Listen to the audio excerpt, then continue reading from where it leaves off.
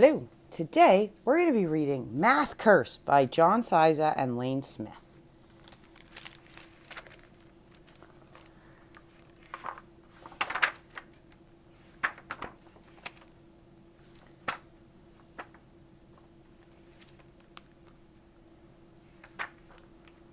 On Monday in math class, Mrs. Fibonacci said, You know, you can think of almost anything as a math problem. On Tuesday, I start having problems. I wake up at 7:15. It takes me 10 minutes to get dressed, 15 minutes to eat my breakfast, and 1 minute to brush my teeth. Suddenly, it's a problem. If my bus leaves at 8, will I make it on time? How many minutes in 1 hour? How many teeth in one mouth? I look in my closet and the problems get worse. I have one white shirt, three blue shirts, three striped shirts, and that one ugly plaid shirt my Uncle Zeno sent me. How many shirts is that altogether? How many shirts would I have if I threw away that awful plaid shirt? When will Uncle Zeno quit sending me such ugly shirts? I'm getting a little worried. Everything seems to be a problem. I take the milk out for my cereal and I wonder how many quarts in a gallon? How many pints in a quart? How many inches in a foot? How many feet in a yard? How many yards in a neighborhood? How many inches in a pint? How many feet in my shoes? I don't even bother to take out the cereal. I don't want to know how many flakes in a bowl. Mrs. Fibonacci has obviously put a math curse on me. Everything I look at or think about has become a math problem. I try to get on the bus without thinking about anything, but there are five kids already on the bus. Five kids get on at my stop, five more get on at the next stop, and five more get on at the last stop. True or false? What is the bus driver's name? Mrs. Fibonacci has this chart of what month everyone's birthday is in. Which month has the most birthdays? Which month has the fewest?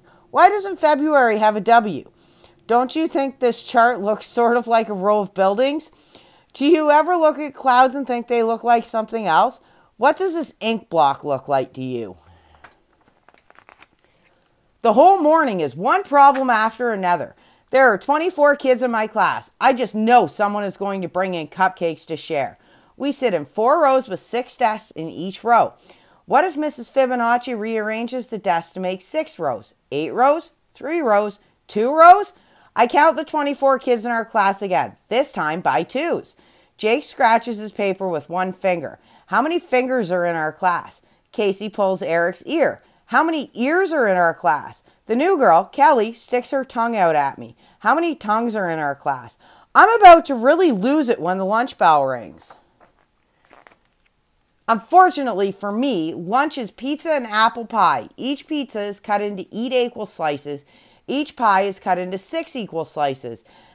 And you know what that means fractions.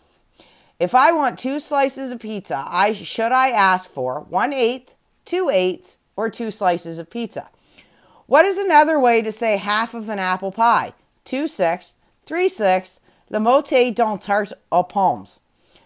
Which tastes greater, half a pizza or half an apple pie?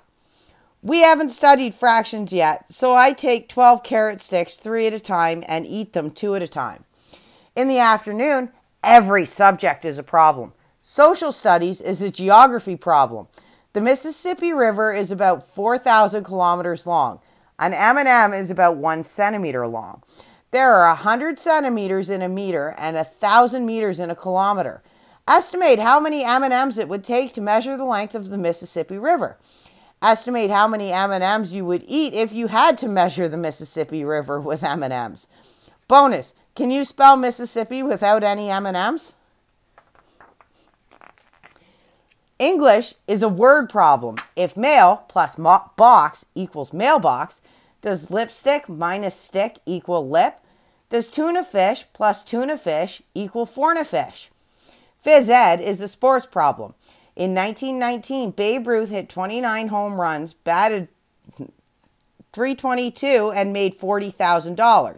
In 1991, the average Major League Baseball player hit 15 home runs, batted 275, and made $840,000. Circle the correct answer. Babe Ruth is less than the average modern baseball player. Babe Ruth is greater than the average modern baseball player. Babe Ruth is equal to the average modern baseball player. In art, we finally get to relax with a connect the dot picture. Here is my picture. Too bad it turns out to be a connect the ancient Mayan numerals picture. Math is just a total problem. Mrs. Fibonacci says there are many ways to count. She asks us to give some examples. Russell counts on his fingers. 1, 2, 3, 4, 5, 6, 7, 8, 9, 10. Molly says 2, 4, 6, 8, 10. Mrs. Fibonacci says, I always count 1, 1, 2, 3, 5, 8, 13. But on the planet Tetra, kids only have two fingers on each hand. They count 1, 2, 3, 10. And on the planet Binary, kids only have one finger on each hand. They count 1, 10. What are the next five numbers in each sequence above? Do you think Mrs. Fibonacci has been to the planet Tetra? How would you bowl if you lived on the planet Binary? We are just about to go home when Rebecca remembers the special birthday cupcakes her mom made. There are 24 kids in the class. Rebecca has 24 cupcakes. So, what's the problem? Rebecca wants Mrs. Fibonacci to have a cupcake too. Everyone is going crazy trying to figure out what fraction of a cupcake each person will get. I'm the first to figure out the answer. I raise my hand and tell Miss Fibonacci I'm allergic to cupcakes. Everyone believes me and gets one cupcake. No one has to figure out fractions. I stagger out of school. I'm a math zombie now. I have to find something to break this math curse. I decide to try chocolate. My favorite candy bar is usually 50 cents. But guess what? Today it's on sale for 50% off. Where A equals the numbers of letters in your first name, B equals your age, and C equals your shoe size. I decide to buy licorice instead. I pull out my money. I have a $5 bill, a $1 bill, a quarter, and a penny. George Washington is on both the quarter and the $1 bill. Abraham Lincoln is on both the penny and the $5 bill. So, which is true?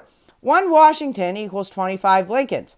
Five Washingtons equal one Lincoln. One Washington equals 100 Lincolns. One Lincoln, Lincoln equals 20 Washingtons. Don't forget to show your work. Extra credit. How do you think Thomas Jefferson feels about all of this? I am now a raving math lunatic. What if this keeps up for a whole year? How many minutes of math madness would that be? What's your problem? says my sister.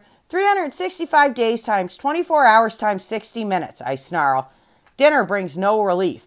While passing the mashed potatoes, Mom says, What your father says is false. Dad helps himself to some potatoes and says, What your mother says is true. I think about that for a minute. If what mom says is true, then what dad says is false. But if what dad says is false, then what mom says isn't true. And if what mom says isn't true, then what dad says isn't false.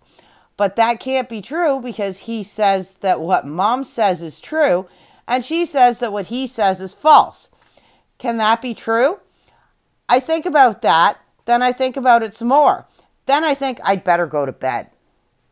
I undo eight buttons plus two shoelaces. I subtract two shoes.